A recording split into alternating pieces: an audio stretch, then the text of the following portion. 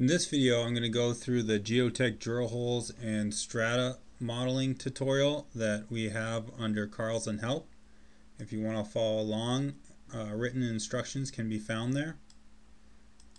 This tutorial uses, if you go to File, Open, it uses the drawing Demo 1.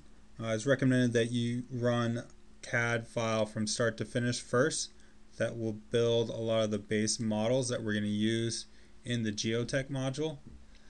Um, so I'm in Geotech, but these routines can also be done in Carlson Takeoff. Starting out, we're going to be entering in some drill hole information and based off an existing initial surface, we're going to create models for dirt and for a rock strata surface. And then we're going to look at some reports after entering in that information. So I can use SiteNet construction or takeoff to build my existing surface, but right from the GeoTech module, I can go to Strata and say triangulate and contour. And I'm not going to draw any contours. I want to create a 3D model. So I have right triangulation file. I'm going to say browse and I'm going to create a file existing geotech. And it's going to write a tin surface model based off of these contours. I'm going to say OK. And it says select objects. I'm going to select all these contours and press enter. So you can see I've written a an existing Geotech tin file. I can view what that model looks like if I go to View Surface 3D Viewer and pick on existing geotech and say Open. And this is a model that I've created from those existing contours that after entering drill holes, um, I'm going to have other strata surfaces based off this, this initial surface. I'm going to hit exit from here and then I'm going to run under drill holes define drill holes. From this dialog I want to enter in any strata that I have on the job should be listed in this dialog. To get started I'm going to hit add and I'm going to call the first one dirt. And I'm going to give it a density factor of 125 and I'm going to use the default strata modeling value by the strata elevation and the strata modeling method by inverse distance by the second power. If you go to help and you'll see you should be brought right into the define drill hole help menu. You can read about the different modeling methods more in depth and when is the best uh, time to use inverse distance versus uh, a linear least squares modeling method. For most jobs that are smaller, I can just leave the default here and I'm going to say OK. And then I'm going to add a second surface and call this rock with a density factor of 150 and I'm going to say OK. For right now, I'm going to leave the rest of the defaults as is, and I'm going to say OK. So I only have two strata surfaces, and I'm going to go to drill hole, place drill hole. And from there, I can either type in a coordinates if I know the coordinates of the drill hole, or I can pick them on the screen. So I'm going to put in three drill holes in this example. I'm going to start with one here.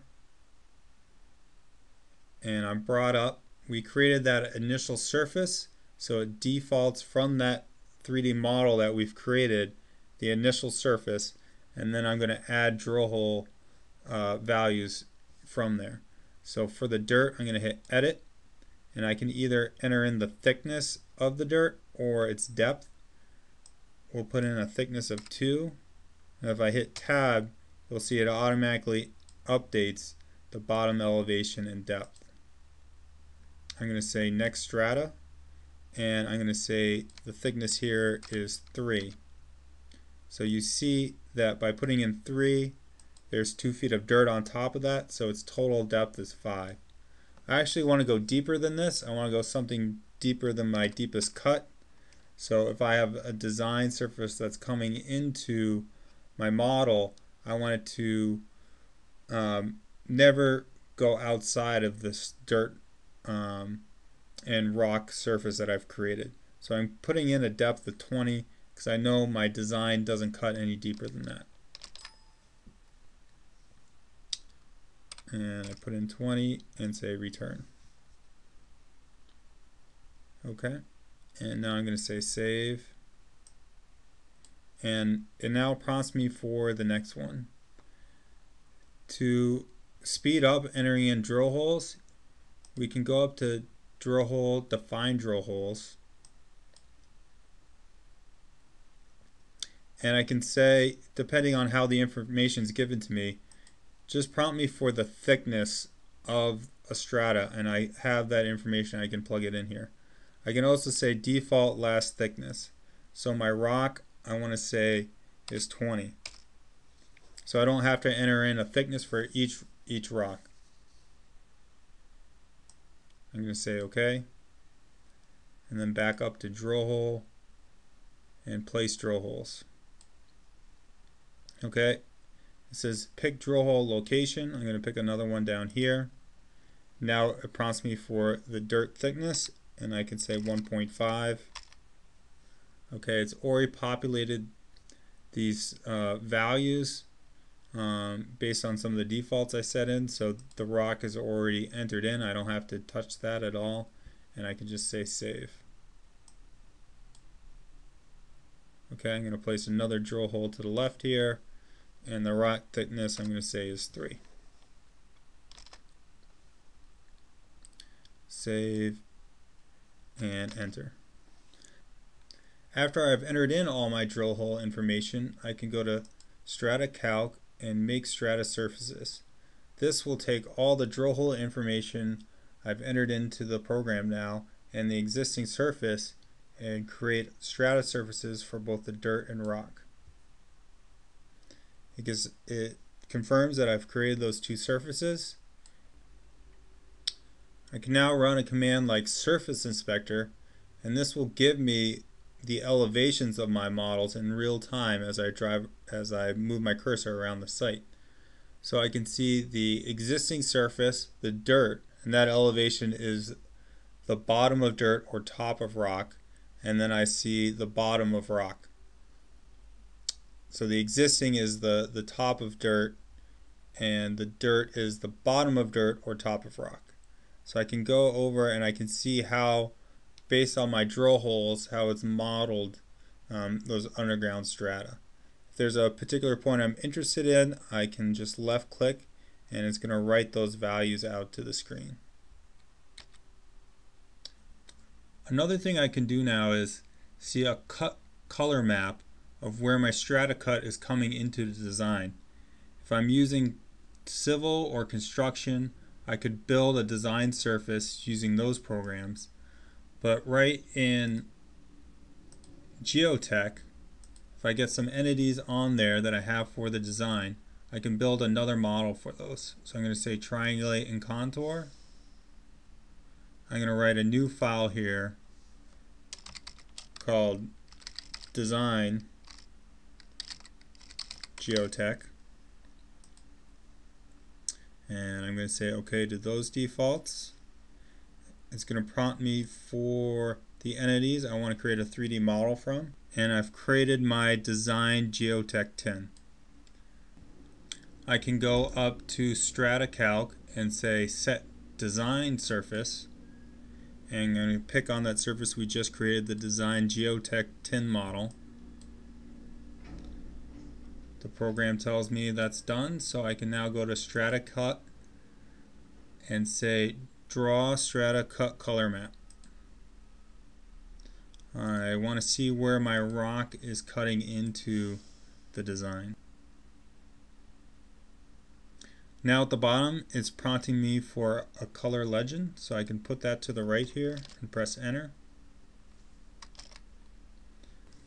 And so what this is showing me is where I have rock cut on the job. Um, different than the overall existing versus design cut, this is showing me just where there's cut of rock. And we got that by simply putting in drill hole information in the Geotech module. To now see the actual volumes of the rock cut that I have on this job, I'm going to go over to the civil module. I could also go into the construction module. And construction would be under takeoff. In civil, I'm going under SiteNet. And there's one other adjustment I'm going to make before we look at quantities. I'm going to say define topsoil depths.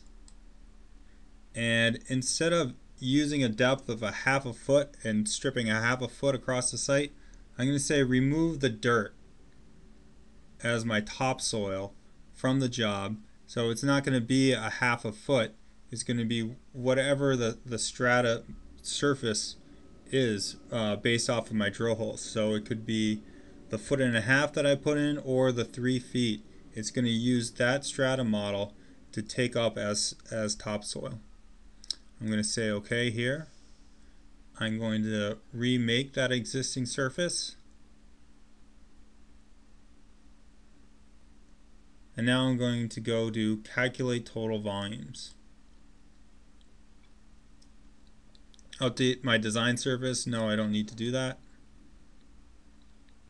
And from our volumes option dialog, I'm going to say, you know, show me the rock cut in five foot intervals. So I'm going to get a report of how much rock cut there is, but I want to know between 0 and 5 feet how much rock I have, and over 5 feet how much rock I have, because the cost of removing it is going to increase depending on its depth.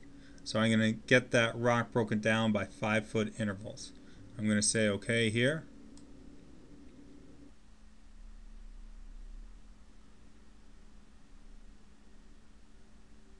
So looking at my report, I can see of my total cut now, I get a report of how much of that cut is rock.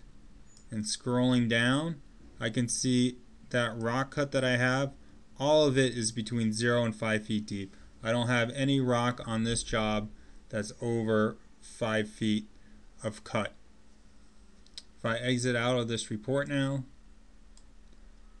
one last command I want to take a look at is the quick profile.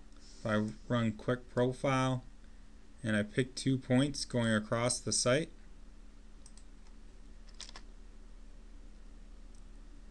you can see my surfaces for my strata are automatically added into my profile. So I can see how it's built down from the existing those stratas and I can view them against the design as well.